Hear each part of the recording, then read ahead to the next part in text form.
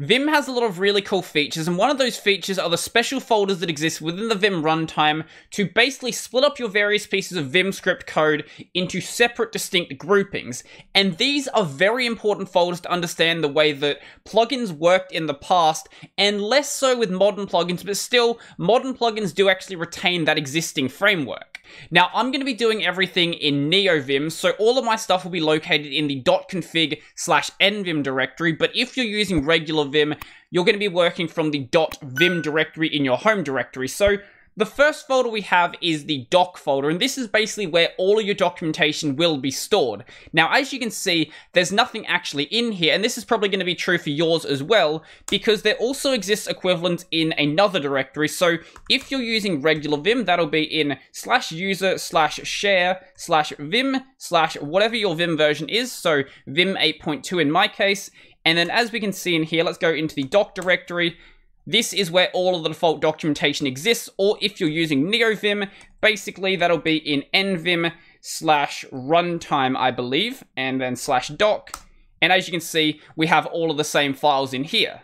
So as expected, the .config slash nvim directory or the .vim directory are where all your user configuration files will go. Now, all of these files in here are basically just regular text files. So instead of doing an ls, let's do a cat. I know that's not a sensible way to do it, but we're going to do a cat because that's just a easy way to do it. So if we just cat out this file right here, as you can see, there's nothing special about this file. It's just a regular plain text file. And that's all the documentation for Vim actually is. So if you want to add any new documentation, all you have to do is add it into this directory right here, and then just run the help tags command. Because what help tags will do is actually generate those tags that you see when you try to run help in Vim. So if we say run help, all of these here are what are known as help tags, and they basically let you jump to different points in the document. But if you want to know how to write Vim documentation, that's not going to be this video. And the next folder is the colors directory. So this is where any color schemes will be located. So let's say we wanted to set the color scheme to something like test. So obviously, as we can see, there isn't actually a color scheme with that name. But if we actually go into this folder and we make a file, we'll call it test.vim. And let's actually go and save that. So if we go and restart Vim now, and now we actually try to set the color scheme to test, it's not actually going to give us an error message because that color scheme actually exists. Now, it doesn't actually matter that there's nothing in that file. All we need is a file with the name test.vim in that directory, and then we can set the color scheme to test. Next up is FT detect, and this stands for file type detect. So this is where you actually go and fix up any file types or you add in any extra file types that you need to work with. So for example, I've noticed that sometimes anything that ends in .text doesn't actually get set to a text file. So that means any plugins I have for working with LaTeX just don't seem to work that well. And also, I've noticed that VimWiki likes to just completely take control of markdown files, but I'd rather have that be set to markdown like it should be. Or with the example of calcurse here, these files are just being read as regular plain text files, but I want them to be marked as markdown files. So if we wanted to say add a new file type, let's say we want the file type, uh, I don't know, type. And anything that ends in uh, TP, we want to be of that type. So if we go and quit out of this, and then we actually make a file called I don't know, test.tp. So if we want to go and actually check what the file type is, all we have to do is run the command set ft, so ft is for file type, question mark, and that will actually check what the file type is. And as you can see, that file type is now set to type. And working alongside that directory is the FT plugin directory. So this is basically any script that you want to run on a specific file type. So for example, if we want it to run only on markdown files, we would name the file in here markdown.vim. Or if we only want it to run on the type file type, we would name it type.vim. Now, one thing to keep in mind is that when you're putting files in this directory, it should only be setting local values because otherwise it's going to go and modify all of your open buffers. You could also put a folder in here that matches the file type name. So for example, we could have something like type, and then everything in this folder will be run on the type file type. So if you need some grouping, then this option is available as well.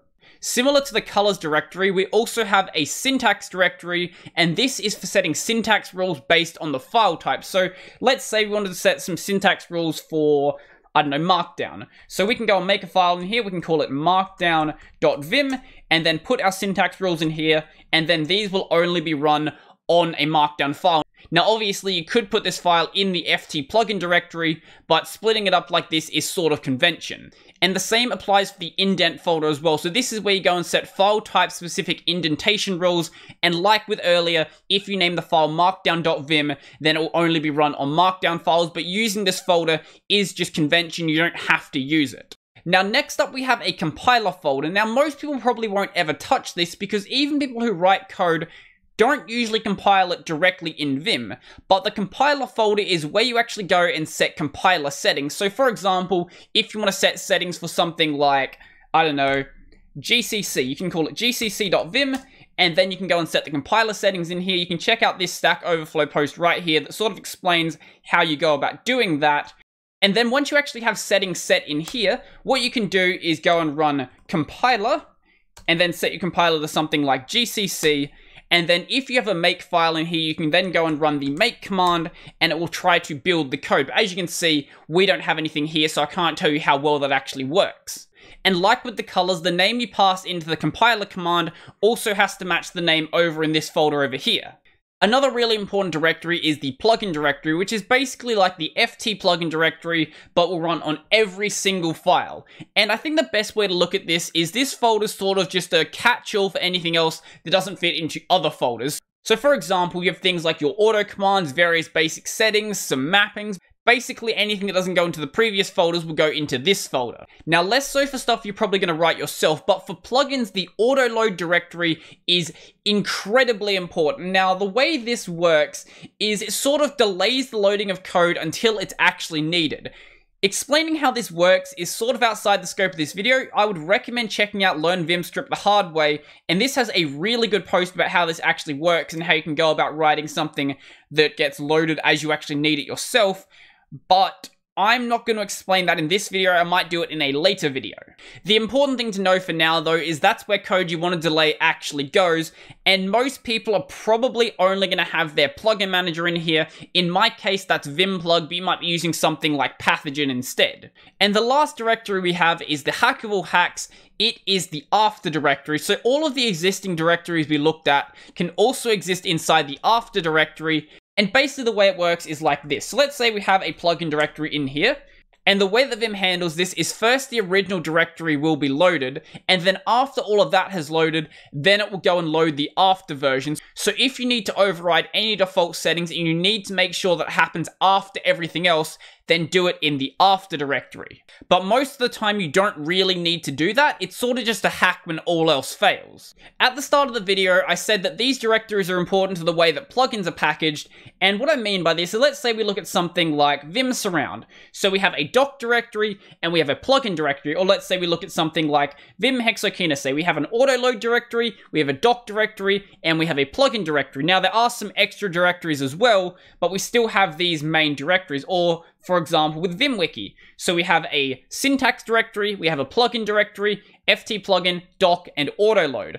So even though modern plugins get loaded in in a different way, they still maintain their legacy runtime directory support. So if you wanted to install plugins in the past, you would actually have to manually go and move all of these files into whatever folder they need to be in. So for example, for VimWiki, you'd have to move everything in the autoload directory into the autoload directory, doc into doc, FT plugin into FT plugin, so on and so forth. But luckily nowadays we have processes to automate this. As of Vim 8, we have two more directories. We have start and opt, but I think I'll save those for their own dedicated video. So let me know, do you actually make use of any of these directories yourself, or do you just put everything into your VimRC? So I think that's pretty much everything for me, but before I go, I would like to thank my supporters. So, so a special thank you to Joachim Corbinian, Andrew Craig, Nathan Montilla, Joseph, Peter D. Road, Tony, Brennan, Donald, John, Marek, Mikkel, Nephite, Tees, and Zilva. If you want to go and support my work, there'll be some links down below to my Patreon, subscribe star, and all that sort of stuff. I've got my podcast, Tech Over Tea, available on various platforms, and I've also got this channel available on LBRY, BitTube, and BitChute if you don't want to watch it on YouTube. So I think that's pretty much everything for me, and I'm out.